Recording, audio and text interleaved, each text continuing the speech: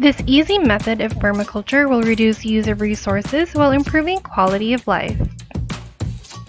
The garden, the trees, and the curb appeal of your home will all reap the benefits as well.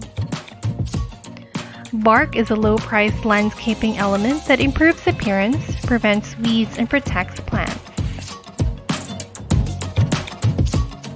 Annual replacement is necessary due to deterioration caused by inefficient practices. However, there is still a chance. You are watching Garden Life, the channel for all of your gardening needs.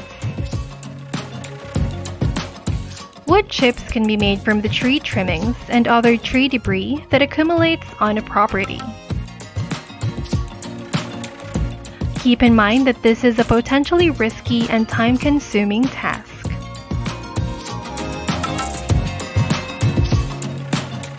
What are wood chips and how can you use them to improve my outdoor space?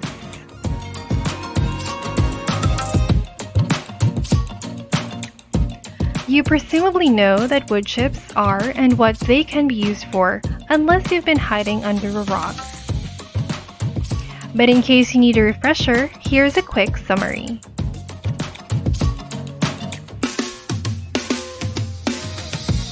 Wood chips are little bits of wood typically culled from tree trunks, branches, and other tree parts. Fertilizers can be used for production, fuel, and mulch.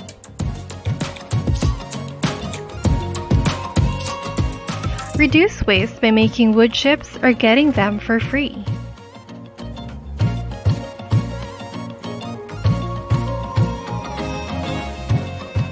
Since they deteriorate so slowly, you won't have to replace them very often in your garden, and you'll reduce your carbon footprint as a result.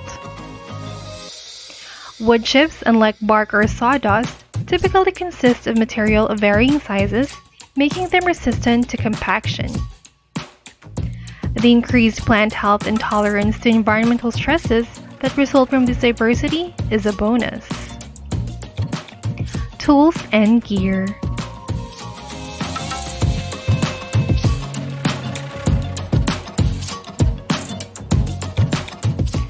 Wood chippers reduce large branches to small pieces in minutes.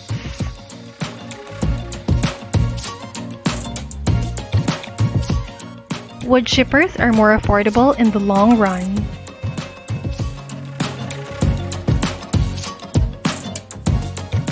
The size and capabilities of the equipment will determine its pricing.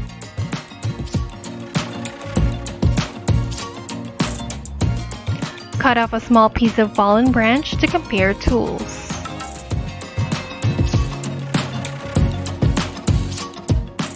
Buying a small engine for the cheap price can be found in classifieds, flea markets, thrift stores, and yard sales.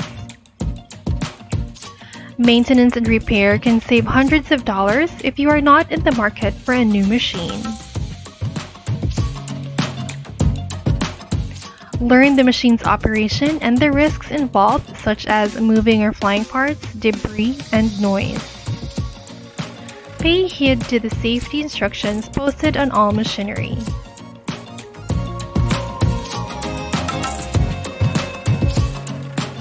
Use safety equipment such as goggles, earplugs, and impact-resistant gloves. Wearing work boots, sturdy pants, and long sleeves is a must, as the chips are often propelled out the machine at high speed. Don't wear your shorts and sandals just yet. Which trees are best for chipping and which are not?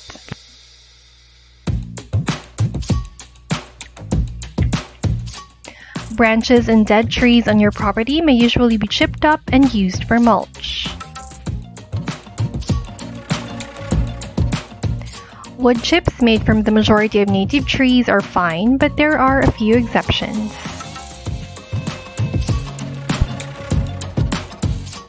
Toxins from ornamental trees can be absorbed by plants through chips, potentially causing harm.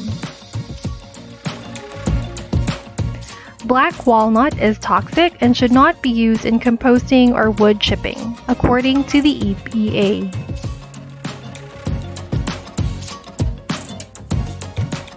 Here are some extra dangerous species.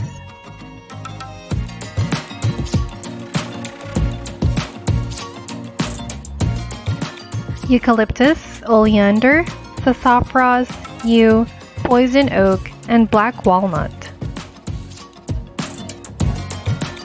Know the wood used in wood chips to ensure safety.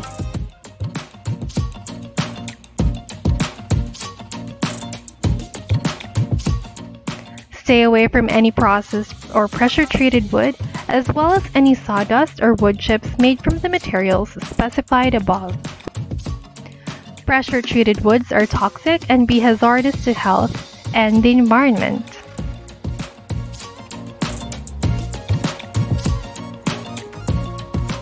Doing the math on your own.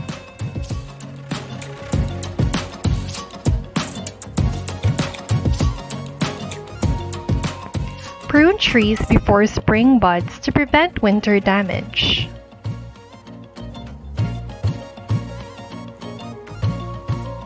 Gather limbs and prune in the same direction for easier processing.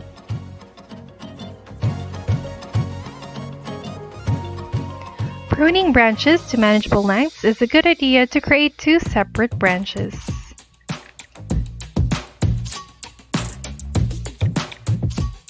As you work, the chips will accumulate in a pile. A drop sheet will facilitate the subsequent cleanup and collection.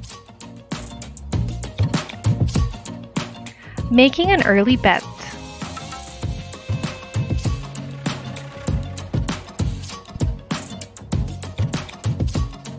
Transport wood chips with wheelbarrows, buckets, or work trailer.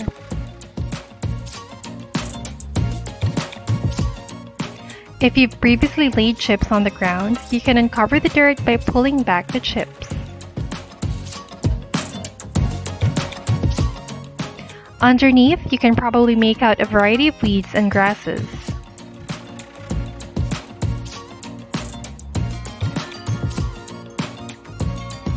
Inspect area for rips and tears before distributing wood chips.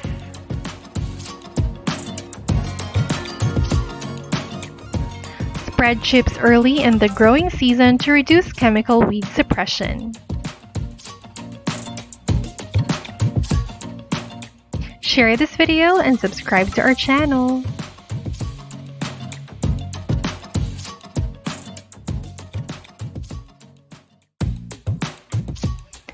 This easy method of permaculture will reduce use of resources.